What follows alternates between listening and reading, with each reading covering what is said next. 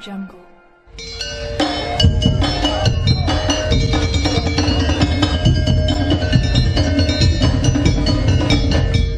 Insinyur Haji Lanyala Mahmud Mataliti bersilaturahmi ke Pondok Pesantren Darussalam Kecamatan Omben, Kabupaten Sampang, Madura. Disambut meriah oleh kiai, ulama, santri, dan warga Kecamatan Omben, Kabupaten Sampang.